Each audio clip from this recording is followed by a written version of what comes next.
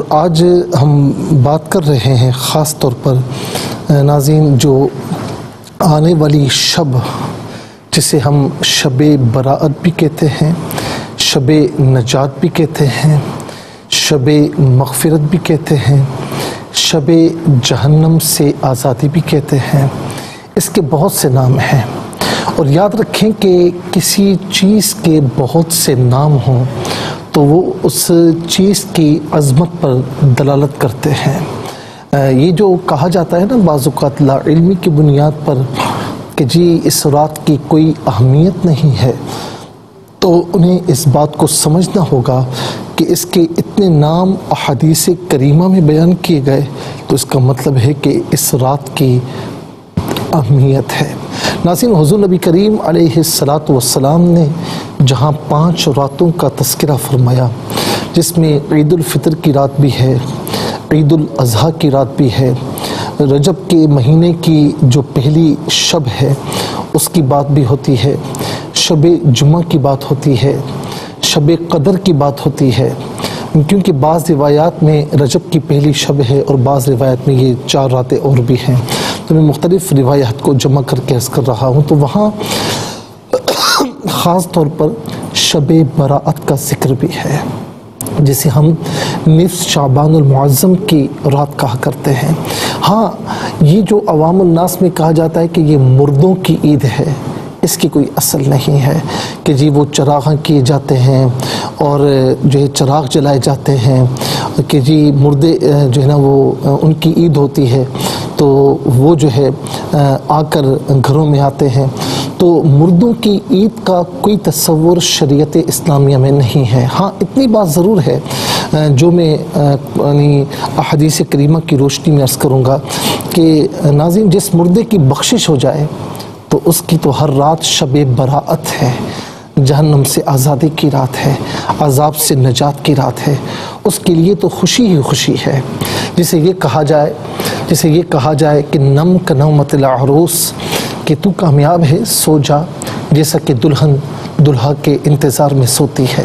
तो उसके लिए तो हर रात, हर दिन ईद है ना, खुशी का दिन है कि अल्लाह रब्बुल आलमीन ने उसे नजात अता फरमाई है। उसके लिए जहन्नम की खिड़की खोल दी गई है। जहन्नम जन्नत की नियामतों से उसे मुस्तफ़ किया जा रहा है। लेकिन मुर्दों की ईद का शब बरात के साथ कोई तस्वुर नहीं है। हाँ जहाँ तक रूहों के घर आने की बात है तो नाजिन उसमें और रातें भी हैं, जैसे शब जुम्मा के हवाले से भी है।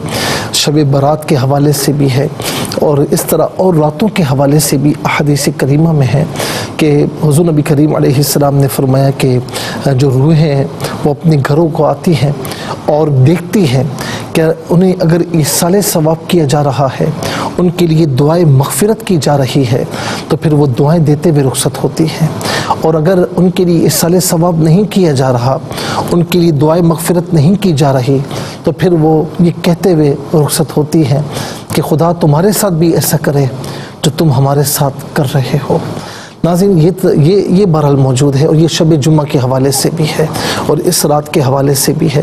लेकिन मुर्दों की ईद का कोई तस्वुर नहीं है चरागा, यानी ये चराग जलाना और जो है वो इस तरीके से दीगर वो करना कि जी ख़ास किस्म की न्याज ख़ास किस्म की जो है ना वो न्याज कि जी आज मुर्दों की ईद है, इसका कोई तस्वुर नहीं, कोई असल नहीं।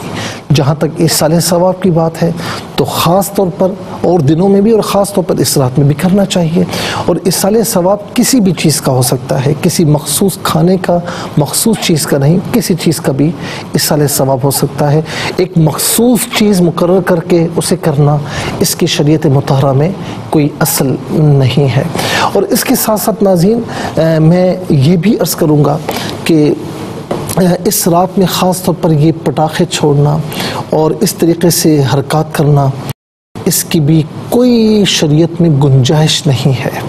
याद रखना कि ये पटाखे जो छोड़े जाते हैं ना, और इस तरीके से फुलझड़ियाँ छोड़ी जाती हैं, ये तो इब्राहिम सलाम को जब आग में डाला गया था तो वो जो मुखालिफिन थे, वो कर रहे थे। नाजिन वसामीन तो ज़रा सोचिए किसका तरीक़ा है कि मुसलमानों का तरीक़ा नहीं है। और फिर इसमें किसी मुसलमान को, किसी इंसान को तकलीफ़ पहुँचे, इसकी शरीय में कोई गुंजाइश नहीं। हाँ ये जब ये रात आती है इस किस्म की जैसे शब कदर है, शब महराज है, इस किस्म की रातें जब आती हैं तो जिसमें मुसलमानों को मस्जिद में आना होता है, इबादत करना होती है तो मस्जिद में कुछ चराहा का अहतमाम करना, यानी कुछ लाइट्स ज़्यादा लगाना कि ज़रा मस्जिद में लोग आएँ और आराम से इबादत कर सकें तो इसमें कोई शरीक का बात नहीं है। और मैं समझता हूँ नाजिन कि इस रात में यानी मुख्तलिफ़ ताबीन से रिवायत है, जैसे मकहूल रदी अल्लाह तु बिन आमिर रदी रदी अल्लाह तु दीगर ताबीन भी इस रात में खसूसी तौर पर अहतमाम करके मस्जिद में आते और इबादत में रात गुजारते। तो लिहाजा इबादत कर रहे हैं ना तो इबादत से लोगों को रुकना नहीं चाहिए। ये कहना कि बिदत है इसे कोई असल नहीं है। तो भाई वो कुछ भी नहीं कर रहा है, वो किसी को नाराज़ नहीं कर रहा है, वो कोई अल्लाह की नाफरमानी वाला काम नहीं कर रहा है, वो रसूल सल्लल्लाहु अलैहि वसल्लम के इत्तिबा के मुनाफी कोई काम नहीं कर रहा है। वो तो आकर अल्लाह की इबादत कर रहे हैं। और नफ्स नफसी का आलम है, वैसे भी लोग कहाँ मसाजिद में आते हैं। तो चले, इन रातों में, इन दिनों में कोई मस्जिद में आने का बहाना हो जाता है और आकर वो अल्लाह की याद में रहते हैं। आकर वो अल्लाह को राज़ी करने की कोशिश करते हैं। तो लिहाजा इबादत से रोकना, ये मुसलमान का काम नहीं होता। वो तो शैतान रोकता है ना। इबादत से रोकना ये औरों का काम है। मुसलमान इबादत से रोकता नहीं है। वो तो इबादत की तरगीब देता है। तो इस रात में ये कहना कि जी ये ऐसा नहीं था, वैसा ये सारी, सारे ढकोसले की बातें हैं। यानी लोग घंटों आपके लतीफ़े सुन लें। घंटों यानी कोई मौलवी साहब बयान करें, उनके बयान सुन लें। लेकिन वो मस्जिद में ना आए तो नाजिन ये ये गलत बात है। तो लिहाजा मस्जिद में आने से रोकना नहीं चाहिए। मुसलमान का काम यह है इनमा यामर मसाजिद मन आमन बिल्लामिल आखिर। ये तामीर की बात है, लेकिन यहाँ तामीर से मुराद आबादी भी है कि मस्जिद को आबाद करना ये ईमान वालों का काम है। ये ईमान वालों के अलावा कोई और नहीं कर सकता। तो लिहाजा और हो सकता है कि इस रात में कोई मस्जिद में आकर इबादत करे, अल्लाह ताला मुकम्मल उसका दिल अपनी तरफ़ फेर दे और उसे इबादत की तोफ़ी अता फरमा दे, और वो फिर पूरी ज़िंदगी इबादत में लगा रहे। ये भी तो हो सकता है ना?